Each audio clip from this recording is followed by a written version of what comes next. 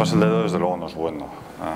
Hay, hay, gente que por su condición genética eh, el dedo no afecta, no afecta de una forma muy grave, pero hay mucha gente que sí le afecta y le afecta con un paladar estrecho, con los dientes hacia adelante, con la mandíbula hacia atrás, con una serie de aspectos esqueléticos que eh, luego son eh, complicados de tratar. Se tratan, se corrigen y tienen buena solución, pero exigen eh, un, esfuerzo determinado a una edad temprana.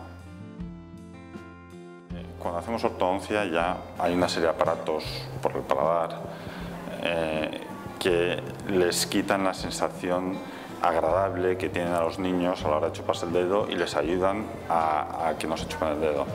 Pero desde luego, eh, de una forma mucho más preventiva, eh, es mejor el chupete que el dedo, puesto que el chupete lo puedes, quitar y el dedo ya es un hábito que se queda durante mucho tiempo. Hay gente que hasta en edad adulta se siguen chupando el dedo. Entre los 3 y 6 años es bastante complicado quitar el hábito, por lo menos el hábito inconsciente. Hay veces que los niños hacen un esfuerzo y el hábito consciente, es decir, durante el día, cuando van a la guardería, a lo mejor se dejan de chupar, pero por la noche siguen insistiendo con el dedo de una forma inconsciente.